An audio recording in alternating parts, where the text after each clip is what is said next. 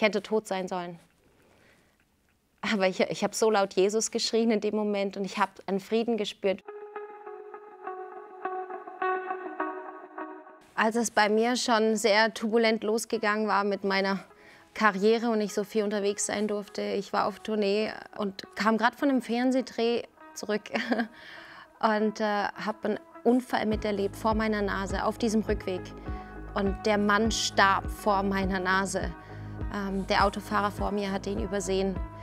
Und das hat mir nochmal klar gemacht, wie, wie nah man dem Ganzen immer ist. Und du kannst der Superstar sonst was sein und ständig auf Tour und alle himmeln dich an und du hast noch dein VIP-Bändchen. Oh, an dem Tag war ich super gestylt, klar, ich kam vom Dreh und dachte mir nur so, pff, was bringt dir all das, wenn es um Leben und Tod geht?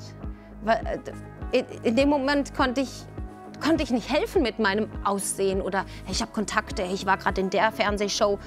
All das bringt nichts. In dem Moment hat wirklich nur die Frage gezählt, was passiert danach. Und ich weiß, dass ich danach nach Hause bin und ganz neu für mich noch mal entschieden habe, dass ich, egal wo ich auftrete, ich möchte von der Wahrheit erzählen, die mich frei gemacht hat. Ich will keine Chance auslassen, dass ich wirklich am Ende der Tage dann sagen kann und zurückblicken kann, und ja, ich habe ich hab Jesus hinterlassen. Ich habe Menschen, die keinen Ausweg für sich gefunden haben, habe ich einen Ausweg durch Jesus geben können. Kurz darauf hatte ich selber einen Unfall.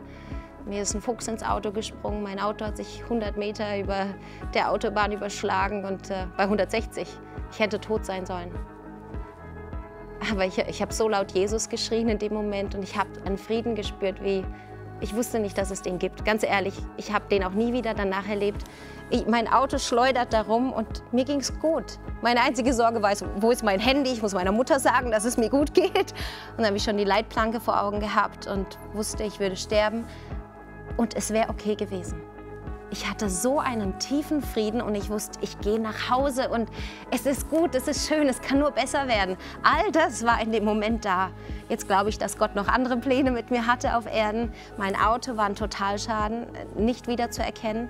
Nur die Fahrerseite blieb unbeschädigt und ich konnte rauslaufen, wie wenn nichts gewesen wäre. Und da wusste ich, wow, wenn der Tag gekommen ist, ich bin, ich bin bereit, auch wenn es heute ist. Ähm, ich weiß, dass Gott noch Pläne hat, aber selbst wenn, es kann ja nur besser werden.